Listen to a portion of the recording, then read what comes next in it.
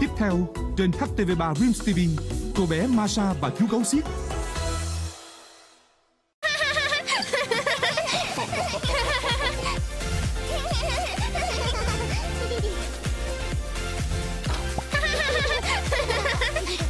sẽ chia khoảnh khắc Cả nhà cùng vui HTV3 Dreams TV